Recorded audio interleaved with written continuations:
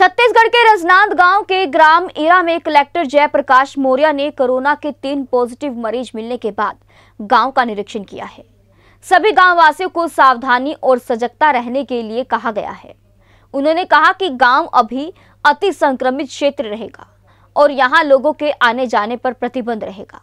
उन्होंने कहा कि करियाना और मेडिकल दुकानें खुली रहेंगी, मनरेगा के कार्य बंद रखेंगे भीड़ भाड़ वाले स्थानों से सभी दूर रहेंगे।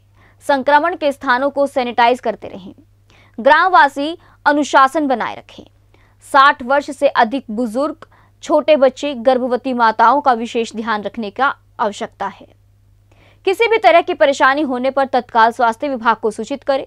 उन्होंने 60 वर्ष से अधिक के बुज़ुर्गों का ब्लड प्रेशर और डायबिटीज़ चेक करने को कहा है। उन्होंने सरपंच से कहा है कि गाँव में किसी को भी सर्दी, खांसी, बुखार एवं सांस लेने में तकलीफ़ हो तो तुरंत स्वास्थ्य विभाग को इसकी सूचना दें। कलेक्टर ने अधिकारियों को संक्रमित मरीज़ के कॉन्टेक्ट ट्रेसिंग सर्वे के लिए भी निर्देश दिए हैं। पुलिस पेट्रोलिंग के लिए भी ड्यूटी लगाने के निर्देश दिए गए। कलेक्टर मौर्य ने सामुदायिक स्वास्थ्य केंद्र सोमनी में गर्भवती महिलाओं एवं महिलाओं के लिए क्वारंटाइन सेंटर बनाने के लिए केंद्र का निरीक्षण किया।